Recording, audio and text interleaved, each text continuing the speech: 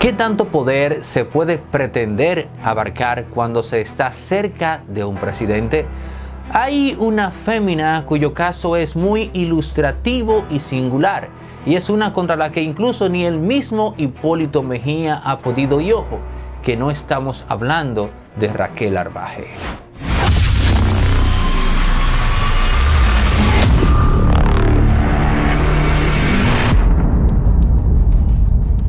De todos los casos que han salido a la luz pública, de las diferencias que se han dado internamente en el PRM, el de Josefa Castillo es sin dudas el más complejo porque se trata de una funcionaria o de básicamente una líder dentro de ese partido a la cual se le da la o se le nombra en la superintendencia de seguros, deja una curul vacía en la cual ella quiere colocar sí o sí a su hijo. Finalmente sabemos que eso no va a ser posible porque el ministro administrativo de la presidencia y presidente de ese partido ha dicho que no, que no se va a colocar en esas curules a familiares de los diputados, como hasta ahora viene siendo costumbre en la historia de República Dominicana. Entonces, más aún cuando vemos eso y cuando nos percatamos de que Milagros Ortiz Bosch y de que incluso el ministro de la Administración Pública están recomendando a una persona en particular,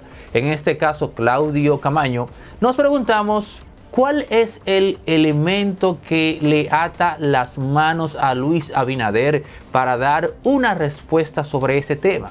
Hay dos variables aquí que vamos a revelar. Una es la política y la otra es el aspecto de lo humano. Pero antes de llegar a ese punto que lo revela y aclara todo y nos da a entender o podemos comprender por fin por qué razón Josefa Castillo le tiene los brazos o la lengua más bien atada a Luis Abinader, tenemos que revelar algo más sobre Josefa Castillo.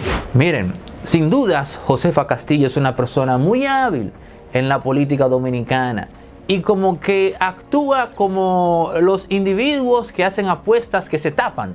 Lo decimos por lo siguiente. Josefa corre para ser candidata a diputada. Pero al tiempo que está en esa gestión, le hace saber a Luis Abinader que ella, cuando el PRM llegue al poder, quiere ser ministra de, adivinen qué, de educación, que es el cargo que ocupa hoy día, ¿quién? Oh, Roberto Fulcar, que es la mano derecha política de Luis Abinader. Pero Josefa quería ese cargo. Cuando Josefa se entera de que no podrá ser ministra de Educación, entonces adivinen ustedes qué le pide, qué le exige, y esta es la otra revelación a Luis Abinader. Obvio y elemental, le solicita el Ministerio de Educación Superior, Ciencia y Tecnología, la famosa MESI. Ese es el cargo que hoy día ocupa Franklin Fermín García. Pero tampoco se le da y a Luis Abinader, gerente al fin, que tiene un problema con uno de sus gerentes políticos más destacados, se le ocurre el bajadero de darle la superintendencia de seguros a Josefa Castillo. Pero Josefa, durante todo ese tramo de la campaña, estaba pregonando a sus más cercanos colaboradores que a ella le iban a dar el Ministerio de Educación. Y aquí entra la faceta inteligente y perspicaz de Josefa Castillo. Ella le decía a todas las personas de las cuales buscaba el apoyo para su candidatura a diputada, que iba a ser ministra de Educación y que por eso había que apoyarla, porque obviamente un diputado no puede prometerle empleo a nadie, porque ¿cuántas personas puede cabeldear un diputado que se nombren en el gobierno? ¿Qué sé yo? 5, 10, 15, como mucho. Todo aquel que sabe un poco de política sabe muy bien que una promesa de un diputado de que dando empleo, eso es algo vacío. Pero Josefa les decía a su gente, apóyenme a la candidatura como diputada porque cuando Luis gane, yo voy a ser ministra de educación. Díganme ustedes, el ministerio con más recursos y uno de los que mayor empleomanía tiene. Obviamente, eso le granjeaba el apoyo de muchos en su demarcación. Al final del día, Josefa ni consiguió el Ministerio de Educación ni el de Educación Superior, Ciencia y Tecnología, pero se quedó con su curul en la Cámara de Diputados y joseó o le cayó de carambola la superintendencia de seguros. Tenemos que quitarnos el sombrero ante esa facultad, no sé si decir agiotista, de Josefa Castillo, pero ese es el hecho, esa es la revelación. Ahora vámonos con la segunda primicia. ¿Qué es lo que hace políticamente que Luis Abinader no pueda actuar en contra de Josefa Castillo? Aquí hay un jueguito muy simple. Resulta que si utilizamos el tema que el de que el diputado que debe ocupar esa curul es el segundo en mayor votación después del que se va, pues entonces Claudio Camaño iría a la curul de Josefa. Pero hay un problema. Viene y resulta el caso que los próximos dos diputados que deberían caer bajo esa misma regla, que son los de San Francisco de Macorís y los de San Pedro, son diputados de la corriente de Hipólito Mejía. Entonces Luis Abinader calcula eso y dice, bueno acá, pero si yo me acojo al tema de que los diputados que deben ir allí son los que tengan más votos después de los que se van, entonces yo voy a meter ahí a dos diputados de Hipólito Mejía y voy a meter a un neutral, Claudio Camaño, que yo no sé a quién le va a pichar a final del día, porque Claudio es él y punto. Y usted se dirá, no me cuadra ese planteamiento, porque total, ¿qué va a temer Luis Abinader de dos diputados más que le dé a Hipólito cuando ya le dio el Ministerio de Agricultura y le dio también el Ministerio de Defensa? Entonces, ahí hay un aspecto que usted no ha tomado en cuenta, y es el hecho de que el ministro de Agricultura, Luis Abinader lo puede quitar en cualquier momento a través del dispositivo jurídico o constitucional por el cual lo nombró. ¿Cuál es? O un decreto. Lo mismo ocurre con el ministro de Defensa. Es decir, son ministerios que aunque Luis le dio en cuota a Hipólito Mejía, en cualquier momento lo puede quitar. Ahora, pero en el caso de los diputados no ocurre lo mismo.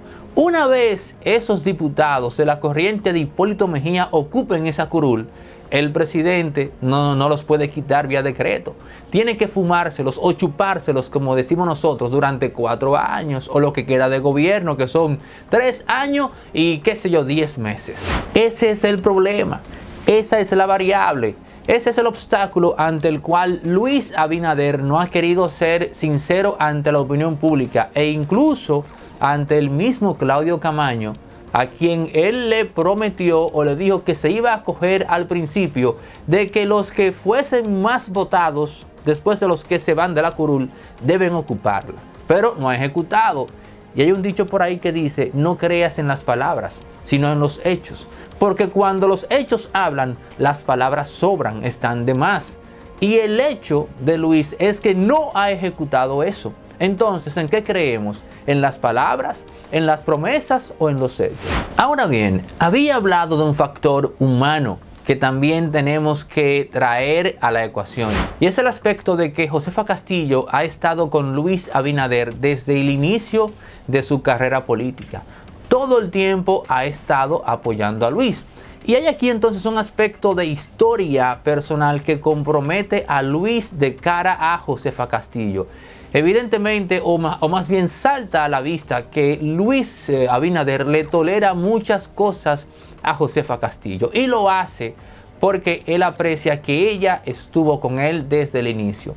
Pero si Luis Abinader examina el hecho de que la jugada en conjunto que acaba de hacer Josefa Castillo en este episodio de la historia política dominicana es una que la cubre a ella por todos lados, se percatará entonces de que Josefa actuó en función única y exclusivamente de sus intereses, lo cual nos lleva a la conclusión de que en esta faceta, no, en esta dinámica política, Josefa ha estado manipulando a Luis Abinader a través precisamente de ese lazo personal que tienen ambos en función de la gratitud que él tiene hacia ella.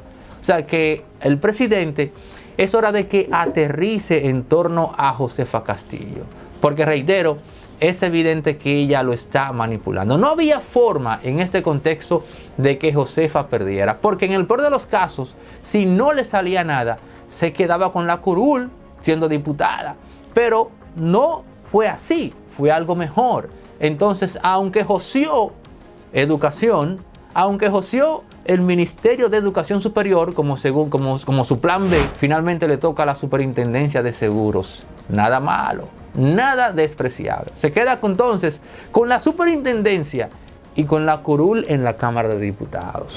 Es decir, que Josefa solo pensó en ella. Poco le importó meter al presidente en un lío, a un punto que, reitero, Ricardo Nieves llegó a decir que lo que le pasó a Kimberly tuvo como génesis el conflicto que armó Josefa en la Cámara de Diputados. Es decir, según Ricardo Nieves, que Kimberly pagó esa cuava. No lo dije yo, lo dijo Ricardo Nieves. Señores, esa es la razón política y la razón humana por la cual Luis Abinader está maniatado en torno a Josefa Castillo. Hipólito Mejía, que también está bailando en esto, se ha quedado tranquilo hasta ahora. Porque Hipólito sabe que no es mucho lo que él tiene que hacer. Porque si se acogen a eso de que son los diputados más votados, entonces eso le conviene porque hay dos diputados de él que irían a las curules de San Francisco y San Pedro de Macorís. Y ya en ese contexto a él que Claudio Camaño ocupe la cruz de Josefa le va o le viene. Pero también tiene lo suyo con Josefa. Me cuentan que hasta bruja le dice Hipólito a Josefa Castillo. Ya ustedes pueden saber lo bien que se llevan. Hipólito hasta cierto punto recela esa relación emocional política que hay entre Josefa Castillo y Luis Abinader. Y me van a perdonar los PRMistas, pero yo tengo que darle un jalón de oreja a Luis Abinader.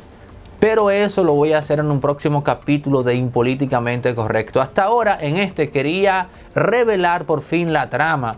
¿Cuál es el aspecto político y humano que hacen que Luis Abinader no actúe contra Josefa Castillo. Pero están advertidos. Tengo que jalarle la oreja públicamente al presidente porque hay algo que no me está gustando.